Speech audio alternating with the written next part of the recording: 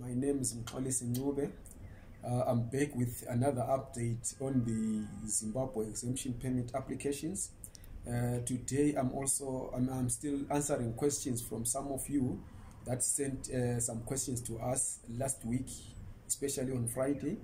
Uh, we did uh, inquire with the Zimbabwe um, with the VFS global uh, officials about the mass rejections that we have been told are happening uh, most of you thought that maybe this is a calculated ploy to try and get rid of Zimbabweans who are trying to move from the Zimbabwe exemption permit to the mainstream South African permit. But that is not the case, and we've been assured that that is not the case. Uh, the issue mainly is that most of you just applied for whatever permit they thought they could apply for.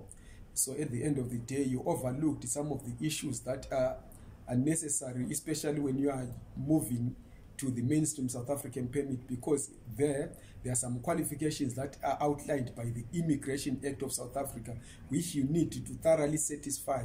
Without satisfying those, there is no way that one can I mean that one can qualify.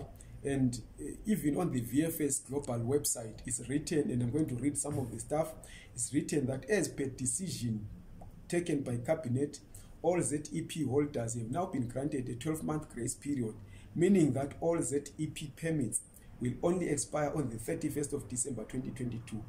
During the 12-month grace period, holders of the ZEP permits should apply for the mainstream visas which they qualify for and need to ensure that the, their applications comply with the provisions and requirements of the Immigration Act and regulations. There is no need to apply for a waiver as change of condition is permitted during the 12-month grace period given. ZEP holders can only apply for TRV category at the selection page. Please refer to help text on category selection page.